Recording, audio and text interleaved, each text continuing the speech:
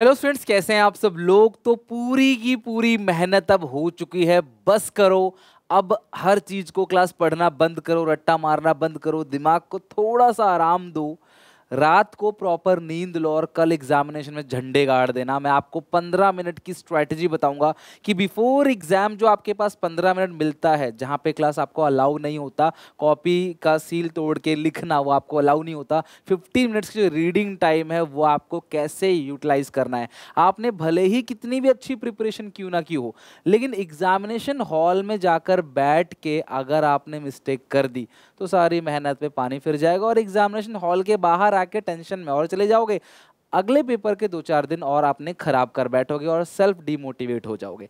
तो मेरी इस वीडियो को पूरी देखना, मैंने तुम्हें सारी प्रिपरेशन करा दी है कल सुबह, यानी कि सत्रह तारीख को सुबह पाँच बजे मैं लाइव आ रहा हूँ आपकी कंप्लीट फिर से पूरे सिलेबस की A to Z live preparation कराने। मेरे साथ ज़रूर जुड़ना सुबह पाँच बजे और अपने सारे दोस्तों को भी लेके आना क्लास आराम से सारा रिविजन करेंगे ताकि पाँच से सात जो मैं रिविजन कराऊँ उसके बाद तुम्हें कुछ भी और पढ़ने की ज़रूरत ना पड़े और एग्जामिनेशन जाके अच्छे से सारी चीज़ें क्लास कर दोगे और जैसे आप एग्जामिनेशन हॉल से बाहर आओगे, खुश लगोगे और आपके सर पे जो बोझ है इकोनॉमिक्स का, कितनी सारी किताबें, कितने सारे नोट्स कितने सारे डाटा डायग्राम चार्ट सब हटाओ और क्लास अपने मूव ऑन करेंगे अपने अगले सब्जेक्ट पे सब्जेक्ट पे बिज़नेस स्टडीज़ पे, जिसकी स्ट्रेटजी मैं बताऊँगा आपको, और पूरा का पूरा business studies zero to end चाहे वो केस स्टडी हो, चाहे वो एमसीक्यू हो, चाहे कीवर्ड हो, सब कुछ मैं कराऊँगा तो आपको चिंता की कोई बात नहीं, ठीक है?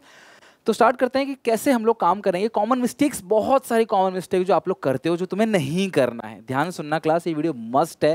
तुमने सारी प्रिपरेशन कर रखी है, लेकिन अगर आपने इसको नहीं देखा, इसको नहीं समझा तो गलत कर बैठोगे। सबसे पहली बात, ध्यान समझना।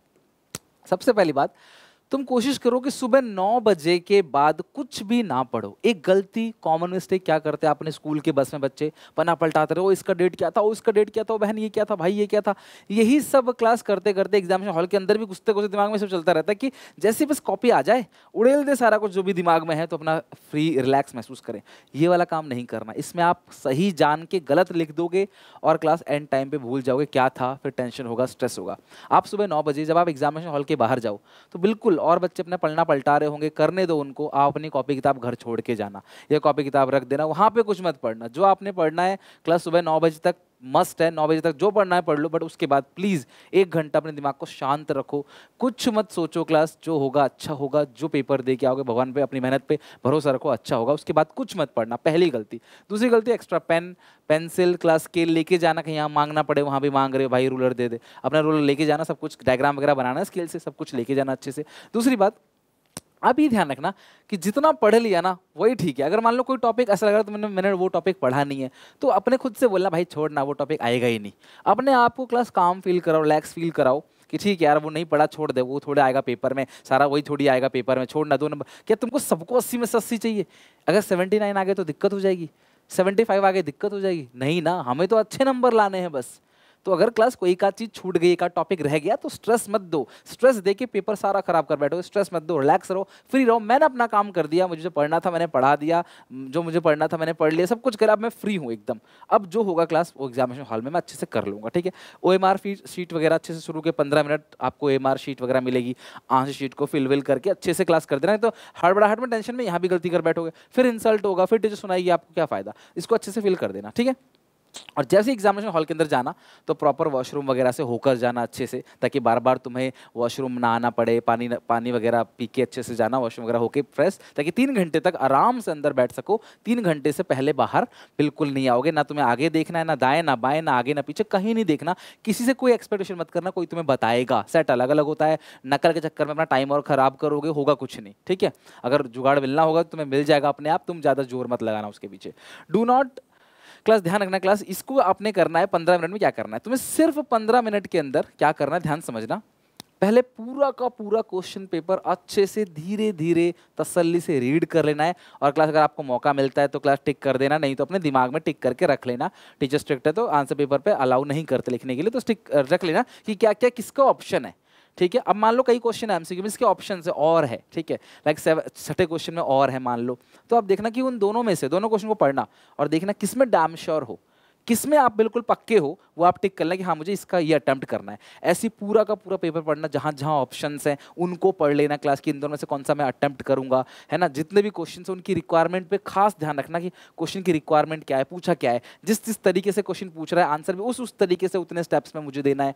और आखिरी चीज़, अगर मान लो इतना में तुम्हारा हो गया, और टाइम बच गया, दो चार मिनट, पाँच मिनट बच गया तो उसमें क्लास आप अपने क्वेश्चन पेपर में, बहुत सारे क्वेश्चन ऐसे आएँगे जो क्लास मैंने तुम्हें करा रखे डायरेक्टली आ जाएँगे तो वहाँ खुशी तुम्हें होगी, लेकिन यहाँ वहाँ मुंडी मत हिलाना, अपना बैठ के बस अपना पेपर करते रहना वहाँ पर कोई क्लास किसी से बात करने की ज़रूरत नहीं, किसी से उम्मीद नहीं करना, ना किसी से कुछ पूछना है कि भाई तुम मुझे इशारों से बता दियो फ़र्स्ट सेकंड थर्ड ये सब मत करना, ना क्वेश्चन चेंज होता है, फंस जाओगे। और दूसरी बात जो केस बेस्ड क्वेश्चन आता है, उसको भी शुरू के पंद्रह मिनट में पढ़ लेना। अगर तुम्हें टाइम मिलता है केस बेस्ड क्वेश्चन को भी पढ़ लेना। शुरू की फिफ्टीन मिनट में तुम्हें करना है, सारे ऑप्शन चेक करने कौन सा कौन सा अटैम्प्ट करना है, और जो पूरा पैराग्राफ है, उसको पढ़ लेना। अगर उसे करने में पाँच दस मिनट फालतू भी लग जाते हैं, मान लो। पंद्रह मिनट के बाद घंटे बच जाएगी, पेपर लिख सकते हो। तो चिल रहना एकदम। ईगो का पेपर तुम्हें से किसी का छूटने नहीं वाला है और मैं गारंटी दे रहा हूँ, तुम सब एक घंटा, आधा घंटा, चालीस मिनट, पैंतालीस मिनट पहले एग्जामिनेशन करके बैठ पूरा पेपर अच्छे से करके बैठ जाओगे। पर करके बैठना मत। वहाँ पे सेकी मत दिखाना, बैठ के अच्छा देखो भाई, मेरा हो गया। ऐसे नहीं करना। वहाँ पे क्लास आप चेक कर लेना, कुछ मिस्टेक तो नहीं हुई। कई बार आप जान, कई बार आपको नहीं पता चलता, कुछ गलतियाँ हो जाती हैं। तो आप उसको एक बार अच्छे से पन्ना पलटा के देख लेना, उसके बाद अपना पेन वेन रख देना। चिल भैया, एक पेपर हो गया, अब अगले की अगले की तैयारी मैं करा दूँगा। अगर किसी असर्शन रीजन वाले क्वेश्चन में ऑप्शन है तो कोशिश करना उस ऑप्शन को करो। असर्शन रीजन वाले में क्लास फंस सकते हो, गलती कर बैठते हो, वो क्लास मत करना, ठीक है? और पैराग्राफ आपको रीड करना है। मतलब होल पेपर में कौन कौन से क्लास और वाले क्वेश्चन है, उनको तुमको अटेम्प्ट करना है। बस ये ध्यान रखना है। देखना है कि मुझे कौन सा क्वेश्चन अटेम्प्ट करना है। फिफ्टीन मिनट्स ट्वेंटी मिनट्स लगते हैं ट्वेंटी फाइव मिनट्स लगते हैं, कोई प्रॉब्लम नहीं, आराम से लगने दो। इसमें कंजूसी बिल्कुल मत करना। ये समझ आ गया? दूसरी बात, पूरे एग्जामिनेशन हॉल में खुद को कॉन्फिडेंट रखना कॉन्फिडेंट रखना।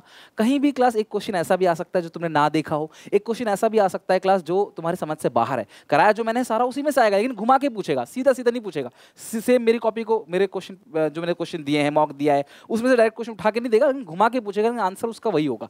तो तुम थोड़ा क्वेश्चन को तसली से पढ़ना, समझना, पूछ क्या रहा है। और पूरे एग्जामिनेशन में कुछ पेपर ऐसा आ गया जो मुझे नहीं आ रहा तो वहाँ पे खुद को डिमोरलाइज मत करना। कोई बात नहीं यार पेपर में चौंतीस क्वेश्चन है, मुझे अगर थर्टी थ्री आता है एक नहीं आता तो कोई बात नहीं, बना बना के अपने ओन लैंग्वेज में कुछ ना कुछ करके उसे लास्ट में लिख दूँगा, मुझे वहाँ भी नंबर मिल जाएगा। दो, चार नंबर कट जाते हैं तो उससे ज़िंदगी तुम्हारी बर्बाद नहीं होने वाली, और अस्सी नंबर आने के बाद तुम कोई बिलीनियर नहीं बनने वाले। तुम्हें अपना बेस्ट देना, अपने अच्छे से करना है, उसमें परेशान होने वाली कोई बात नहीं है। कोई टेंशन मत लेना। तीन घंटे आराम से क्लास पॉजिटिव रहना। खुद को, जहाँ तुम डिमोटिवेट हुए, उसके आगे के क्वेश्चन तुमसे गलत होना स्टार्ट हो जाएगा। तो डिमोटिवेट बिल्कुल नहीं होना। कुछ नहीं जानते तो स्ट्रेस मत लो क्लास एक आध क्वेश्चन नहीं आते, कोई बात नहीं। इसको हम बाद में कुछ ना कुछ बना बना के लिख लेंगे, बैठ के सोच सोच के लिख लेंगे, कोई ना कोई आइडिया आ ही जाएगा। लेकिन हर एक बच्चा, यहाँ पे जितने भी बच्चे हैं ना प्लीज़ मुझे कॉमेंट में लिख के दो कि तुम किसी भी कीमत पर कसम है तुम्हें, एक क्वेश्चन छोड़ के नहीं आओगे। नहीं समझ आ रहा, बना बना के लिख के आओगे। तुक्के मारना, तुक्के कैसे मारोगे? ऑप्शन वाले में मान लो ऑप्शन वाला नहीं आ रहा। तो जो गलत गलत ऑप्शन उसे कट कर देना। किसी तो पक्का गलत है तो पक्का गलत है। बाकी दो बच्चे फिफ्टी परसेंट ऑप्शन बच गया, इन दो में से तुक्का मार देना। चार में तुक्का मारोगे, क्या पता गलत हो जाए? प्रोबेबिलिटी वन बाई फोर है। दो में तुक्का मारोगे, सही होने की चांस जो है वन बाई टू है। तो इसीलिए क्लास पहले गलत ऑप्शन कट करना, फिर प्रोबेबिलिटी फिर तो कम मार देना। लेकिन पूरा पेपर अटैम्प्ट करना, अच्छे से नीट एंड क्लीन राइटिंग से मैक्रो अच्छे से आता है, पहले मैक्रो करो इंडियन अच्छे से आता है, पहले इंडियन करो। क्वेश्चन करो लाइन बाई लाइन क्वेश्चन होना चाहिए। Section A line by line section B line by line कोई क्वेश्चन नहीं आ रहा, उसके लिए स्पेस छोड़ दो और आगे चलो, बाद में उस क्वेश्चन को आके कर लेना। स्पेस छोड़ देना उसके लिए और आगे चलना। ऐसा नहीं कि टीचर चेक नहीं करेगा, उनको पूरी लाइन, पूरी सीट पर लाइनिंग करनी होती। पूरी सीट में कहीं भी लिखोगे ना तुम, तुम्हें क्लास नंबर मिल जाएगा। तो तुम लाइन बाई लाइन करोगे ना, टीचर को मज़ा आएगा कॉपी चेक करने में। एक एक एक एक लाइन छोड़ देना हर क्वेश्चन के बाद, हो सके तो हर क्वेश्चन के बाद एक अंडरलाइनिंग कर देना। एक एक क्वेश्चन छोड़ रफ तुम साइड में ही बना लेना। जो भी रफ बनाओगे ना, इसी साइड में बना लेना रफ पूरा का लास्ट में कट कर देना उस रफ को। पेपर आपका साफ़ सुथरा, सुंदर अच्छा होना चाहिए। राइटिंग अच्छी नहीं है, कोई बात नहीं। अंडरस्टैंडेबल होना चाहिए। टीचर पढ़े तो उसको समझ आ जाए। ऑर्डर ऑफ़ क्वेश्चन मेंटेन रखना सेक्शन वाइज अटेम्प्ट करना क्लास फॉर्मूला ज़रूर लिखना न्यूमेरिकल के अंदर, फिर उसके बाद आप by using income method by using expenditure method फिर फॉर्मुला लिखना, फिर कंप्यूटेशन करना, फिर आंसर देना। और क्लास क्वेश्चन की जैसी जैसी रिक्वायरमेंट है मीनिंग है तो मीनिंग बताना। फिर फीचर है तो फिर फीचर लिखना अगले स्टेप में। और अगले एक एक लाइन छोड़ दिया करो बीच बीच में सो दैट आपकी कॉपी खुली खुली अच्छी लगे टीचर को पढ़ने में, समझ में कोई दिक्कत ना आए।